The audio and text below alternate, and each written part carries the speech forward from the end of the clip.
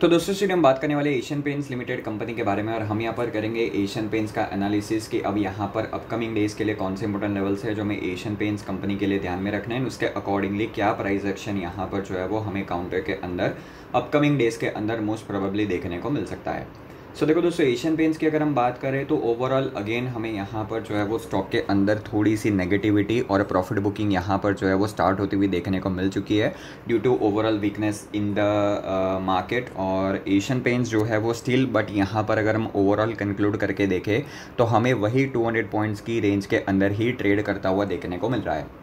जहाँ पर thirty two hundred support है एंड थर्टी फोर हंड्रेड क्या है? रेजिस्टेंस है। दैट मीन्स काउंटर जब तक इस रेंज के अंदर है, तब तक कोई भी आपको ट्रेंडिंग डायरेक्शन यहाँ पर जो है वो देखने को नहीं मिलेगा। इस रेंज के अंदर भले स्टॉक के अंदर फाइव टू टेन परसेंट के अपमोस्ट आ जाए डाउनफॉल आ जाए तो भी वो कोई भी यहाँ पर जो है वो मीनिंग के नहीं अगर थर्टी ब्रेक होगा तो one way down side stock निकलेगा एंड अगर थर्टी के लेवल्स को ब्रेक करके ऊपर निकलेगा तो नए ऑल टाइम हाई भी शायद से हमें देखने को मिल जाए